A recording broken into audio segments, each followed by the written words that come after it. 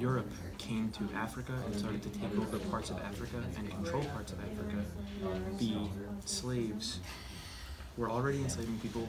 The Europeans saw that, and then they took the Europeans and they justified it with, you know, they're different from us, so that racism came after slavery.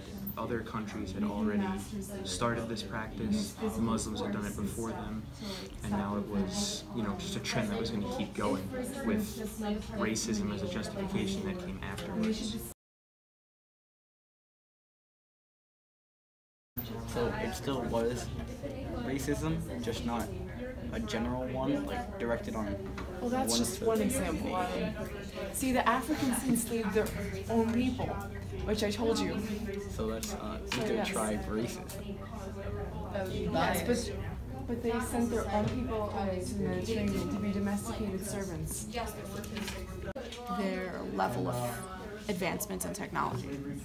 And that's why Europeans couldn't enslave other Europeans because they, the European nations all had, had their own technologies, so they were, they're all on the same level.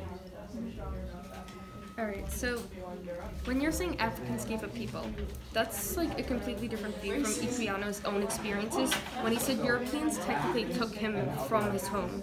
So why do you say that Africans would give up their people?